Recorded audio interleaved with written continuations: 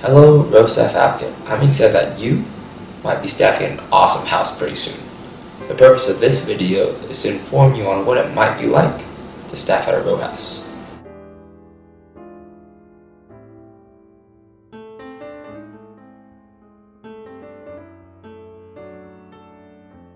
On Sundays, I place my produce and dairy orders for the following week, and I have a nice house dinner. It might be hashing the house with the rest of the staff and the residents. Uh, sometimes clean up a little bit in the lounge. We usually have staff meetings, which can be anywhere from an hour and a half to two and a half hours. I already have the details for plans we have coming up. We'll gather for staff meeting. Generally, I'll prepare the agenda for staff meeting at some point on Saturday or some point on Sunday and send it out to the entire staff so that they can always add their thoughts. On Monday, I wake up at 8 a.m. and bring in the dairy order.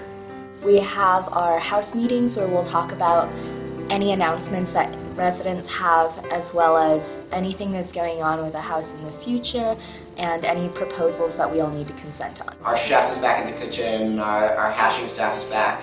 It's just checking in on them and seeing how the weekend went. Um, making sure that everything got cleaned up from the weekend. I typically check the computer cluster uh, every couple days. Sometimes it falls on Monday. Make sure that the printer has plenty of paper. Make sure that the cluster itself is clean. Bring in the vegetables, the fruit, the other produce. Hung around the house and I made a couple of reservations for upcoming events and helped bring in produce. Sometimes we sometimes we have a, our staff meeting in the middle of the week if that's uh, you know if it works better with all of our schedules. So on busier weeks, especially during winter quarter, there might be a few hours of staff interviews that I have on a particular weeknight. And things you really don't expect about people cancelling or having to change time or us honestly not issuing enough time slots for everyone to sign up on.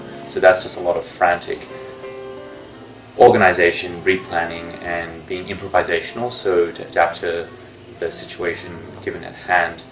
And not only that, but thinking about what questions we wanted to ask each candidate, what that would tell us about not only them as a person, but how they would contribute to Mars was something we really had in mind. I'll generally keep my door open from, you know, maybe 7 p.m. until I go to sleep at 1 or 2 a.m. or whatever it may be.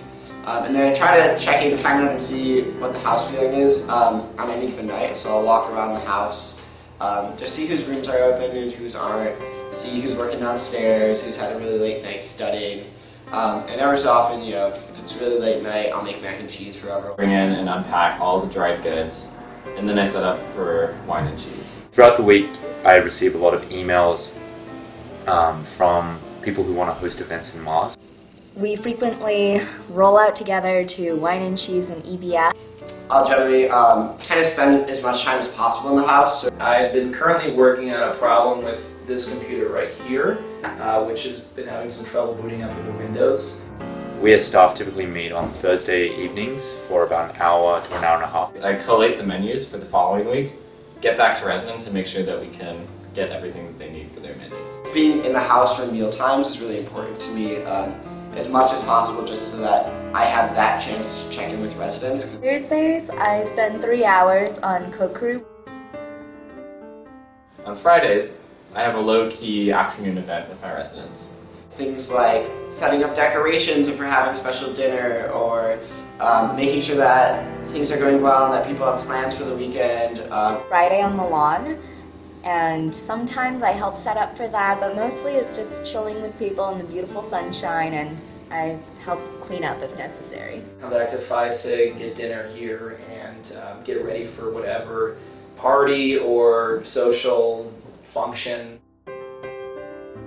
On Saturdays, I spend anywhere from three to five hours in QuickBooks just making sure all our records are straight. I call up vendors sometimes to make sure everything's in order, and I try to get everyone's checks back to them on a weekly basis. the house is going to roll out to a big event like a football game or a party, um, that we all kind of are able to do that in a communal way. Hang out around my house, studying, and spending some time with my residents. One of the most rewarding things about being on staff was learning a ton about food. Their internet browser comes up with an actual page, and so you know that they connect to the internet, everyone just breathes this big sigh of relief, uh, and you feel like a hero. And they're so they're so appreciative, and they, they just like are you know your biggest fan, and you, you you know go back to your room and say like yeah I did my job. As your year goes on, you just become really close to the people in your house if you're if you're doing your job right. So uh, it's not really a burden, and it doesn't really feel like work at some point because these are your friends and they're people that you love to hang out with. So the most rewarding part of my job is you know hearing good feedback from my residents. is that we broke down our roles. They really dissolved, um, and we just kind of treated each other as staff. There was no like one RCC, one FM, CM, KM, or RA. It was very much equal towards the amount of work we put in, and as a result, our shared ideas uh, were more valuable and became more interesting.